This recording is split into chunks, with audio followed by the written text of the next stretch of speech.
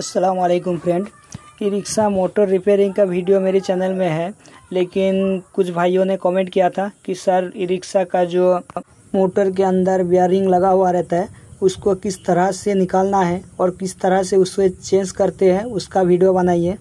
और कुछ भाई ने भी कहा था रहता है। मोटर का जो सैफ्ट है उसको किस तरह से निकालना है उसका भी वीडियो बनाइए। तो मैं एक ही वीडियो में दिखा रहा हूँ। तो देखिए इसको निकालने के लिए आप इस तरह का एक हाइड्रोली टूटा हुआ हाइड्रोली भी यूज़ कर सकते हो। लेकिन मैं ज़्यादातर जो साइड में दिख रहा है आपको, वो वाला जो जक है, उसको यूज़ करता हूँ। तो देखिए, इस तरह से एक जक है मेरे पास तो उसका मैं यूज़ करता हूँ ज़्यादातर। जग का जो नट है, उसको निकाल लेता हूँ, और बीच में उसका होल रह जाता है तो उसमें मैं इसको रख के आराम से निकाल लेता हूँ। लेकिन इसका निकालने का भी कई तरीका है।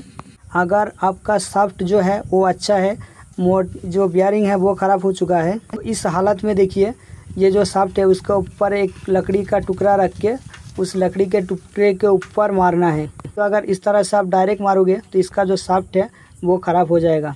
साफ्ट का एक तरफ़ जो है, वो ख़राब हो जाएगा। तो मैं इसका जो साफ्ट है, वो सही है, इसलिए मैं ऐसे ही मार रहा हूँ। इसके ऊपर देखिए, एक लकड़ी का टुकड़ा ले लिया और मैं उसके ऊपर मार रहा हूँ। तो ये जो लकड़ी है, ये बहुत बड़ा है। आप चाहे तो छोटा ले सकते हो और ये थोड़ा कमज़ोर है। आप चाहे तो थोड़ा ताकत वाला लकड़ी ले सकते हो अच्छा वाला। तो इसमें आराम से निकल जाएगा। और अगर आपका साफ्ट ख़राब है तो ये लकड़ी लेने का ज़रूरत नहीं है। आप साफ्ट के ऊपर ही मारोगे तो ये आराम से निकल जाएगा और भी अच्छे से निकलेगा। मेरा जो है, इसका साफ्ट अच्छा था, इसलिए मैं इसको ऐसे निकाल रहा हूँ, क्योंकि साफ्ट मैं चेंज नहीं करने वाला था। तो देखिए, इसका जो साफ्ट है, वो तो निकल गया। अब इसका बियरिंग किस तरह से निकालना है, वो भी दिखा देता हूँ। क्योंकि काफ़ी भाई ने कमेंट किया था कि बियरिंग किस तरह से निकालना है। लेकिन इसका बियरिंग जो है, वो निकालना बहुत ईजी है। देखिए, इस खास साफ्ट से ही हम बियरिंग को निकाल देंगे। तो देखिए, इस तरह से बियरिंग में साफ्ट को रख के थोड़ा सा हल्का मारोगे तो वो निकल जाएगा ऐसे ही। तो इसको निकाल के फिर आप जिसको चाहिए चेंज करके नया वाला लगा सकते हो। और मैं जो बियरिंग है और जो साफ्ट है, उसको लगाने का एक अलग सा तरीका है मेरे पास। तो वो भी मैं दिखा दूँगा आपको। तो देखिए, मोटर का जो पीछे की तरफ़ बियरिंग है, वो भी चेंज कर लेता हूँ। तो उससे पहले देखिए, ये ऑयल सिल लगा हुआ है। तो पहले ऑयल सिल को निकाल लिया। अब देखिए, यहाँ पे बियरिंग है। तो ऑयल सिल के निकालने के बाद ही यहाँ पे आप मार सकते हो, नहीं तो ऑयल सिल ख़राब हो जाएगा। तो ऐसा कुछ नहीं, आप यहाँ पे भी थोड़ा सा मारोगे तो वो निकल जाएगा। देखिए, उसी हिसाब से मैं मार रहा हूँ। तो ये ऐसे ही निकल जाएगा। आप चाहे तो दूसरा कुछ भी ले सकते हो। लेकिन इसको मारने में ज़्यादा पैसा नहीं लगता है। मैं इसीलिए साफ्ट को यूज़ कर रहा हूँ। तो देखिए, ये वाला बियरिंग भी निकल गया। तो इसी तरह से आप आराम से निकल सकते हो साफ्ट को भी और बियरिंग को भी। तो देखिए, इसका बियरिंग भी निकल गया और साफ्ट भी निकल गया। तो चलिए, मैं बियरिंग को चेंज कर देता हूँ।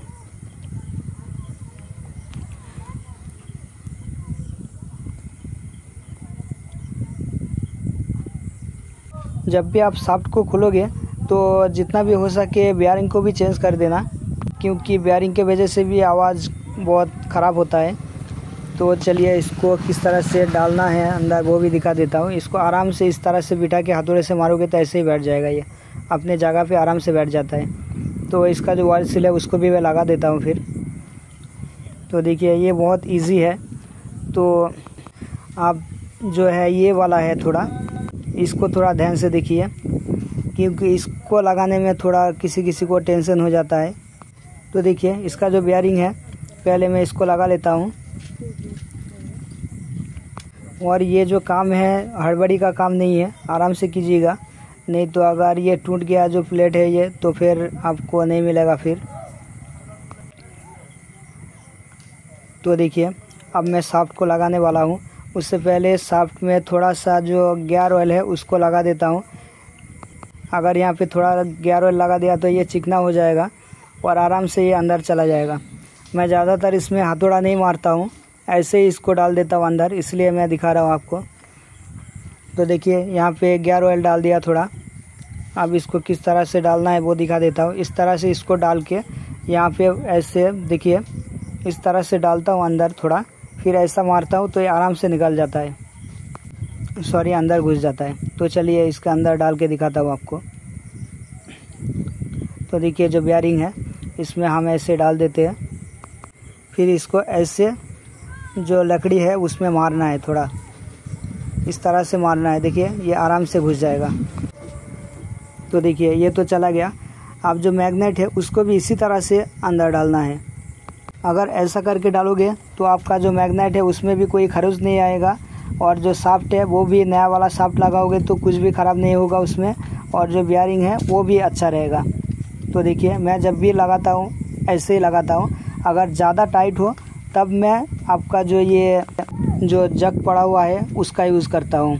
अगर ज़्यादा टाइट हो तो नहीं तो ऐसे ही घुस जाता है देखिए, ये जो ऐसे ही घुस गया तो मैं ज़्यादातर ऐसे ही इसको लगाता हूँ। तो ये साफ्ट का एक नाप रहता है तो मैं पहले नाप ले लिया था। देखिए, ये जो इसमें से नाप लिया था। तो देखिए बराबर घुस गया है अंदर।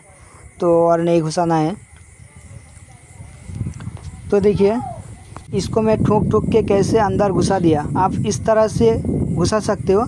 या तो आप इसको देखिए, इस तरह से रख के, उल्टा करके रख के, फिर इस तरह से एक लकड़ी का टुकड़ा लेके इसके ऊपर आप ऐसे मार सकते हो। या तो देखिए, ये जो एक आपका छेनी के टाइप दिख रहा है, इसको सेफ्ट के ऊपर एक होल है। वहाँ पे रख के आप हाथोड़े से मार सकते हो। तो आपका जो मैग्नेट है, आराम से घुस जाएगा। ये तीन चार तरीका आपको दिखा दिया मैं। आप कैसे भी कर सकते हो।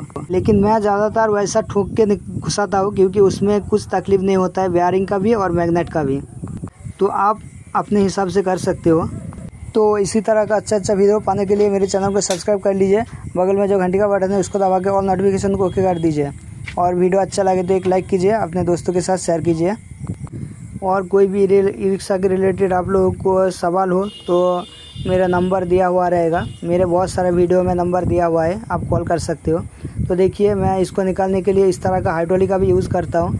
आपके पास अगर ये वाला जॉक नहीं है तो आप ऐसा हाइड्रोलिक का यूज़ कर सकते हो। तो थैंक्स फॉर वॉच